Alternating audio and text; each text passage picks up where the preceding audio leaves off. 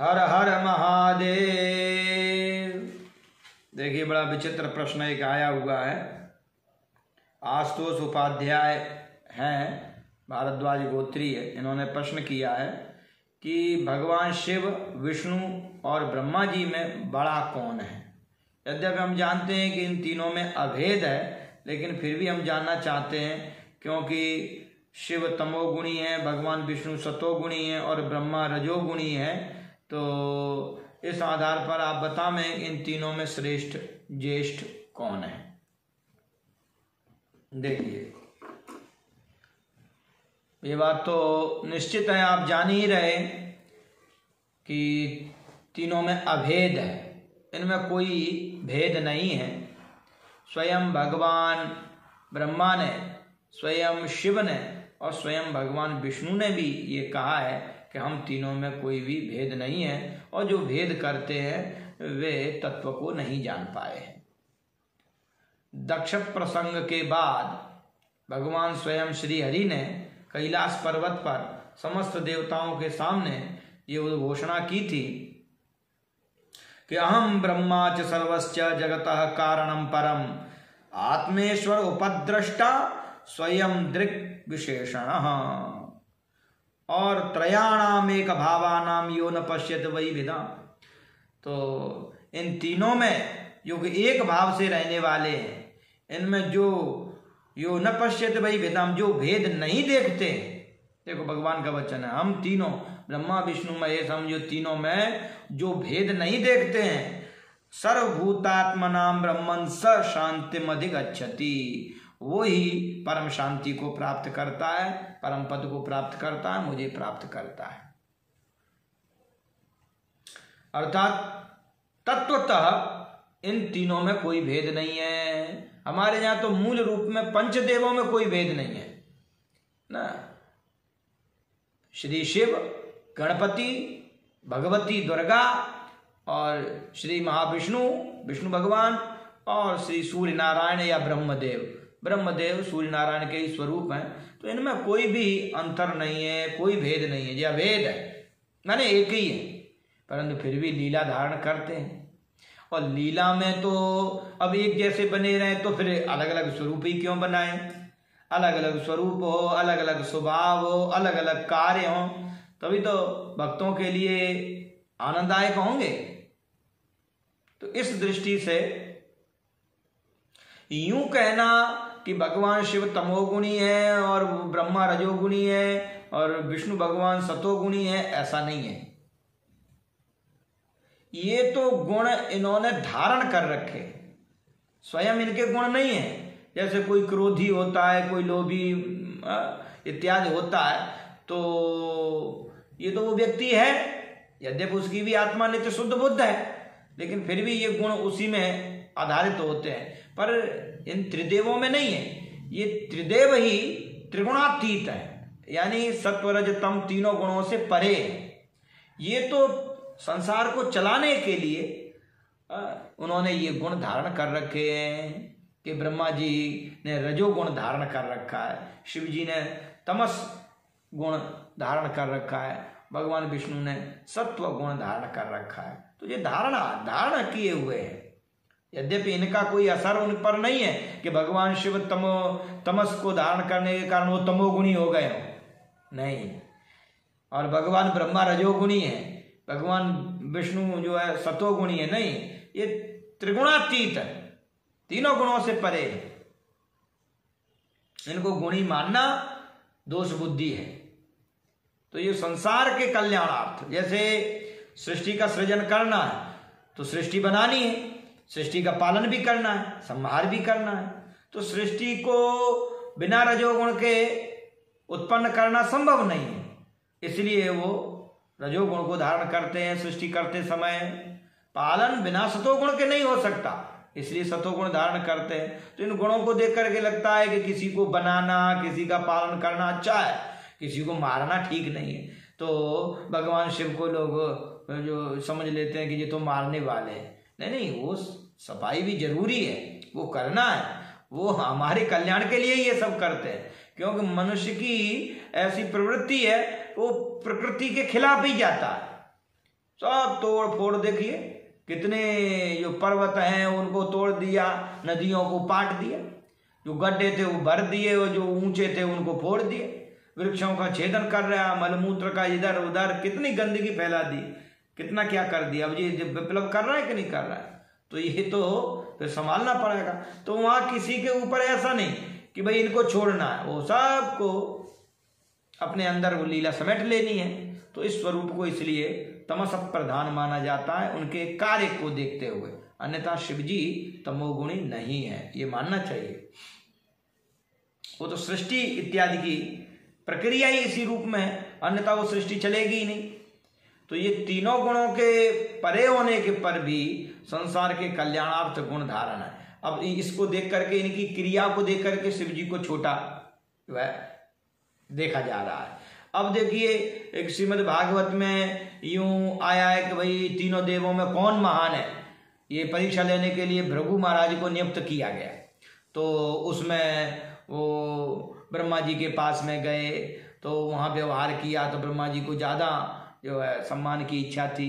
हमारे पुत्र हमारा ही सम्मान नहीं किया। शिव जी के पास में भी गए तो उनको थोड़ी कम थी। तो विष्णु भगवान के पास में गए तो उन्होंने तो सम्मान की इच्छा ही नहीं की। उन्होंने जाके चरण प्रहार कर दिया, लेकिन फिर भी उनके चरण बंधन किए और उनसे क्षमा याचना की। तो ये देख करके लगा कि भगवान विष्णु ही महान है और ब्रह्मा जी को इसमें छोटा दर्शाया गया। और आयु क्रम से भी ब्रह्मा जी को छोटा दर्शाया जा रहा है। और देखिए कि ये उत्पत्ति का क्रम जो श्रीमद् भागवत इत्यादि में दिया है कि श्रीमन नारायण के नाभि से ब्रह्मा तो अब ब्रह्मा जो है, विष्णु के बेटा हो गए ना इसमें तो अब ब्रह्मा इनसे जो है छोटे हो गए, क्यों? उनके बेटा हैं। और ब्रह्मा जी की भ्रकुटी से भगवान रुद्र शिव का प्रादुर्भाव दिखलाया है तो अब वो तो उनके भी बेटा हो गए। तो शिव जी को इसमें छोटा दर्शा दिया गया। सबसे महान विष्णु भगवान को तो ये कथा ऐसी दिखाई गई। है अब देखिए, कुछ कथाएँ ऐसी हैं, अब शिव पुराण के आधार पर देखिए कि भगवान शंकर ने ही ब्रह्मा और विष्णु को उत्पन्न किया और उनसे सृष्टि इत्यादि करने के लिए कहा। तो वो असमर्थ थे तो कहा कि हमारे इस लिंग का जो है, आप पता लगाइए। एक लिंग खड़ा कर दिया, भगवान शंकर ने शिवलिंग। तो वो ब्रह्मा जी ऊपर हंस पर बैठ करके गए और नीचे विष्णु भगवान वराह रूप धारण करके गए। तो उनको कि विष्णु भगवान को कोई छोर नहीं मिला, उसका कोई भी अंत नहीं मिला। तो लौट आए। ब्रह्मा जी ने आकर के झूठ बोल दिया कि हम तो ऊपर से ये केतकी का पुष्प लेकर के आए, जबकि वो बीच में से ही लेकर के आए थे। शिव जी के लिंग का कोई अंत नहीं था, अनंत था।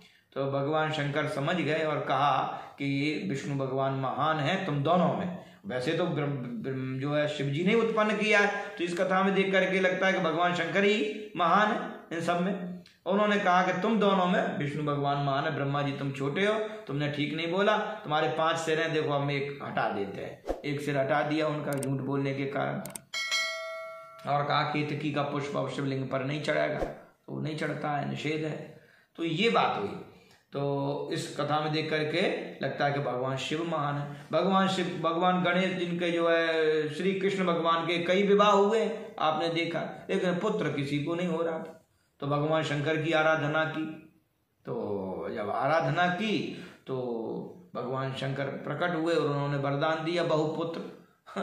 वान भावा तो बहुत पुत्र हो गए। बहुपुत्रवान हो गए भगवान श्री कृष्ण। तो शिव जी की आराधना की तब ना हुए पुत्र।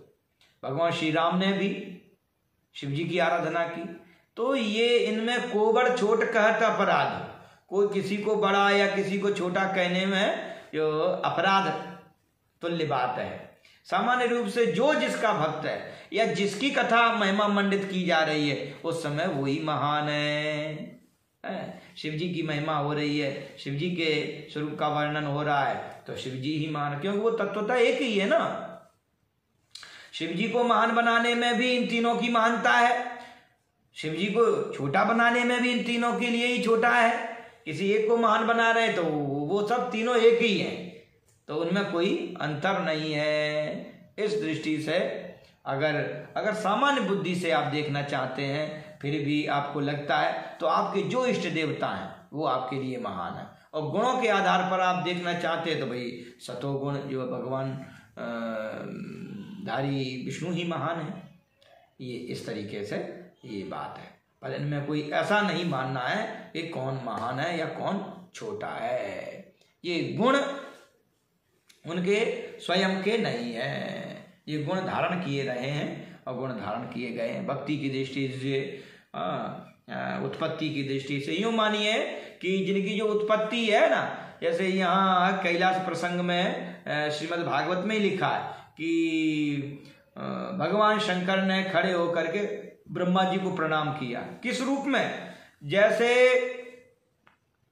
भगवान बामन अपने पिता कश्यप को प्रणाम करते हैं, जैसे भगवान श्री राम अपने पिता दशरथ जी को प्रणाम करते हैं, जैसे बाबा नंद को या वसुदेव को भगवान श्री कृष्ण प्रणाम करते हैं। तो अब ऐसा नहीं क्या वो मुझे जो तो भगवान के पिताजी हो गए।